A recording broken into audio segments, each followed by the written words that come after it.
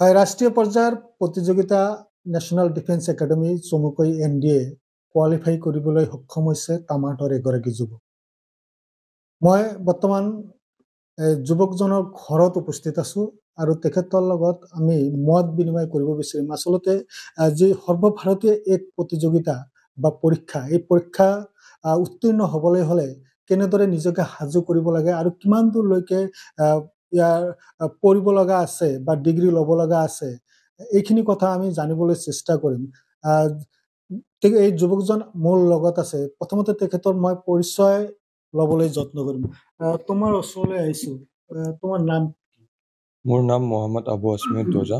মোৰ দেউতাৰ নাম আব্দুল হামিদ শ্বেখ আমি তামাহাটত থকা মানুহ। চ' মই যেনেকৈ এইবাৰ N D A written exam clear কৰিছোঁ তাৰপিছত ইণ্টাৰভিউটো ক্লিয়াৰ কৰিলোঁ। তাৰপিছত মেডিকেল হ'ল এতিয়া মোৰ যেতিয়া মেৰিট লিষ্ট আহিছে ইয়াত মোৰ ৰেংক হ'ল two hundred and sixty three so' বহুত ভাল লাগি আছে সেইটো ৰেংকৰ কাৰণে এণ্ড প্ৰাউড ফিল হৈ আছে মোৰ পেৰেণ্টছক মোক আৰু আমাৰ অঞ্চলৰ মানুহকেইটাকো প্ৰাউড ফিল হৈ আছে যে ইয়াৰ এনেকুৱা মানে এন ডি এৰ ইমান এক্সপ'জাৰটো নাই মানে মানুহৰ। ইয়াত মানে বেছিভাগ মানুহে ইমান এন ডি এৰ কথা গম নাপায়। বাট ষ্টিল এতিয়াও যেনেকৈ এইটো মানে প্লেচৰ পৰা মই যেনেকৈ পালোঁ so' it will act as an inspiration for the upcoming generations thank you হয় এন ডি এ পৰীক্ষাত অৱতীৰ্ণ হ'ব লগা হয়। তেনেহ'লে আচলতে কেনেদৰে নিজকে সাজু কৰিব? মানে এন ডি এ দি মানে ডিফেন্স ফ'ৰ্চত যায়। চ' ডিফেন্স ফৰ ডিফেন্স ফ'ৰ্চত এটা মানে মেইন বস্তু হ'ল যে নিজৰ পাৰ্চনেলিটি পাৰ্চনেলিটিটো মানে যে মানুহৰ বিহেভিয়াৰ মানুহৰ মেনাৰ্ছ সেইটো কেনেকুৱা? চ' মেনাৰ্ছ বা বিহেভিয়াৰ সেইটো অভাৰ দ্য টাইম গ্ৰেজুৱেলি লাহে লাহে আহে। তাত মানে এনেকুৱা নহয় যে ওৱান মান্থত টু মান্থৰ ভিতৰত নিজৰ পাৰ্চনেলিটিও চেঞ্জ হয়। নিজৰ বেছিক ডেইলি হেবিটছ নিজৰ মানে মানুহৰ লগত কথা পতা কোৱা কমিউনিকেশ্যন স্কিলছ সেইবিলাক লাহে লাহে লাহে লাহে ডেভেলপ কৰিলে আৰু নিজৰ ডেইলি হেবিটছত ডিচিপ্লিন ইণ্টিগ্ৰেট কৰিলে তেনেকৈ মানে পাৰ্চনেলিটিটো ডেভেলপ হয়। আৰু যেনেকৈ ৰিটাৰ্ণ এক্সামটো আছে ৰিটাৰ্ণ এক্সামৰ কাৰণে তাৰ কাৰণে পঢ়িব লাগিব। বাট ৰিটাৰ্ণ এক্সামটোৱে শেষ নহয় তাৰপিছত আকৌ এছ এছ বি আহিব যিটো ছাৰ্ভিচ চিলেকশ্যন বৰ্ড হয়। চ' ছাৰ্ভিচ চিলেকশ্যন বৰ্ডত তাত আপোনাৰ পাৰ্চনেলিটি এছেচমেণ্টটো হ'ব চাইকলজিকেলি আপোনাৰ ইণ্টাৰভিউ হ'ব আৰু বহুত বহুত টাইপৰ টাস্ক আছে। তাত মানে অফিচাৰকেইটা নিজৰ মানে মানুহৰ পাৰ্চনেলিটি পাৰ্চনেলিটিটো চায় চ' সেইটোৱে মানে ডিচিপ্লিন ফ'ল' কৰিব লাগিব আৰু নিজৰ মানে হাৰ্ডৱৰ্কটো আফটাৰ অল হাৰ্ডৱৰ্ক কৰিলেহে ছাকচেছটো আহে। চ' হাৰ্ডৱৰ্কটো কৰিবই লাগিব। Along with hard work you have to give your full hundred percent efforts in making a personality a good personality তুমি পঢ়া শুনা ক'ত কৰিছা? মই সৈনিক স্কুল গোৱালপাৰাৰ পৰা মোৰ ক্লাছ টুৱেলভ কমপ্লিট কৰিছোঁ। মই তাত ক্লাছ ছিক্সত এডমিশ্যন লৈছিলোঁ আৰু তাত হোষ্টেলত আছিলোঁ। ক্লাছ ছিক্স টু টুৱেলভ মই সৈনিক স্কুল গোৱালপাৰাৰ পৰা কমপ্লিট কৰিলোঁ। এন ডি এ কমপ্লিট কৰিবলৈ গ'লে ইয়াৰ প্ৰচেছটো কি আছিলে? মানে ধাপবোৰ কেনেকুৱা? কি কি পৰ্যায় অতিক্ৰম কৰিব লগা আচ্ছা মানে এন ডি এৰ কাৰণে মানে এন ডি এ এক্সামটো ক্লাছ টুৱেলভ মানে দুটা অপশ্যনত হয়। মানে এটা হয় যে যেতিয়া অনগয়িং ক্লাছ টুৱেলভ চলি আছে মানে just as a class twelve student তেতিয়াও দিব পাৰে। মানে ছেপ্টেম্বৰত এটা এক্সাম হয় এইটো এক্সামটোত মানে দিব পাৰে। তাৰপিছত আৰু ক্লাছ টুৱেলভ পাছ কৰাৰ পিছত এজ লিমিট আছে নাইনটিন পইণ্ট ফাইভ ইয়াৰ্ছ পৰ্যন্ত। চ' নাইনটিন পইণ্ট ফাইভ ইয়াৰ্ছলৈকে মানে এক্সামটো দিবলৈ এলিজিবল থাকে। হয় এন ডি এ কোৱালিফাই কৰাৰ পিছত আচলতে যিহেতু ইয়াৰ পিছত ট্ৰেইনিং আছে ট্ৰেইনিঙৰ পিছত আচলতে মানে কি কি পদত অধিষ্ঠিত হ'ব পাৰে? মানে ট্ৰেইনিংটো হ'ব ইয়াত এতিয়া ফ'ৰ ইয়াৰ্ছ মানে থ্ৰী ইয়াৰ্ছ এন ডি এত হ'ব নেশ্যনেল ডিফেন্স একাডেমী পুনেত তাৰপিছত নিজৰ ৰেচপেক্টিভ ডিপাৰ্টমেণ্ট হিচাপত ইণ্ডিয়ান মিলিটেৰী একাডেমী বা ইণ্ডিয়ান নেভেল নেভেল একাডেমী বা ইণ্ডিয়ান এয়াৰফ'ৰ্চ একাডেমী তাত যাব পাৰে। So' four years total training তাৰপিছত as an officer in the armed forces commission হ'ব after the passing out parade তামাহাটৰ এই অঞ্চলৰ পৰা তুমি সৰ্বপ্ৰথম ব্যক্তি যে এন ডি এ কোৱালিফাই কৰিব পাৰিছা কেনেকুৱা অনুভৱ হৈছে? এইটো ভাল লাগি আছে প্ৰাউড মুমেণ্ট হয় আৰু আৰু এটা ভাল লাগিছে যে মানুহে এতিয়া অলপ এক্সপ'জাৰটো পাব এন ডি এৰ বিষয়ে।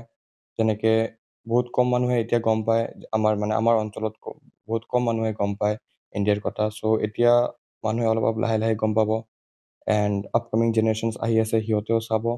চ' এইটো এটা ভাল লাগিব যে মই এটা মাইল ষ্ট'ন ছেট কৰিছোঁ। এণ্ড মোৰ পেৰেণ্টছৰ কাৰণে এটা প্ৰায় প্ৰাউড কথা মোৰ ৰিলেটিভছ আৰু মোৰ টিচাৰ মোৰ স্কুলৰ কাৰণেও এটা ভাল প্ৰাউড মুমেণ্ট চ' এইটোৱে ভাল লাগি আছে। যিসকলে বৰ্তমান এন ডি এ পৰীক্ষাত বহিব বিচাৰিছে বা সাজু হ'ব বিচাৰিছে সিহঁতৰ কাৰণে উপদেশ কি আছে?